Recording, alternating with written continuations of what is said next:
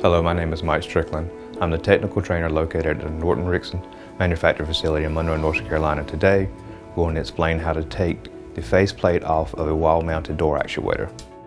Here we have a typical door actuator. This one happens to be surface mounted. We can also do the same thing with one that is wall mounted, like in a J-box. So if you notice, you have two holes here. In this particular one, we're going to use a two millimeter Allen. So basically we just put the in here, loosen it up, and we're going to turn it. Now these do not have to be taken all the way out. Here, we're just going to lift up.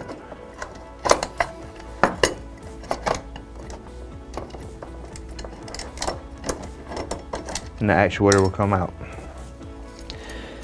If you see here, the actuator is slotted here and here and just fits on and sets in to tighten back up.